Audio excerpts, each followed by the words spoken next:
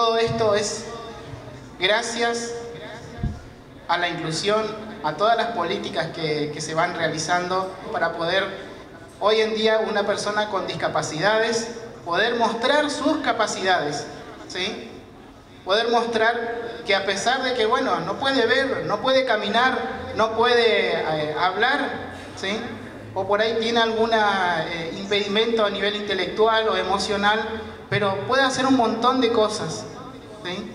Que eso hace que la vida tenga la riqueza que se merece el Creador, como decía el Padre, y eso nos permite a nosotros ponernos de pie y seguir caminando en la vida. Emocionados y agradecidos ante la posibilidad que se nos regala de estar aquí ¿no? y compartir un poco de esto que hacemos con el corazón.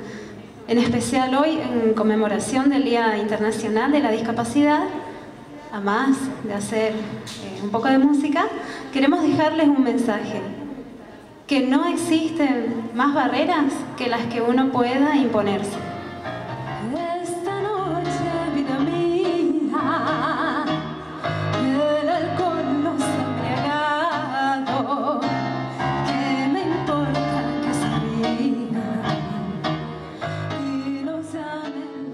Hay momentos que realmente le cuesta hablar, este es uno.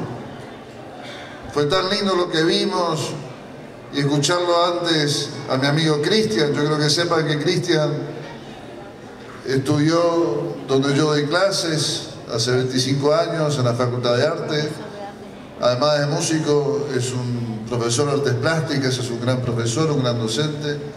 Está ahora trabajando y, y él es una demostración, como tantas otras, que si uno brinda las oportunidades, si uno reflexiona sobre estos momentos, el mundo se convierte más justo poquito a poco.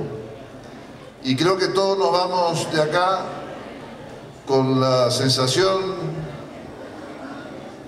de que tenemos que hacer más, de que hay que hacer un mundo más accesible, no solamente en arquitectura, sino accesible al trabajo, a la felicidad, como decía el Padre, y que si estos momentos como hoy lo hacemos muy repetido, vamos a lograr un sí se puede.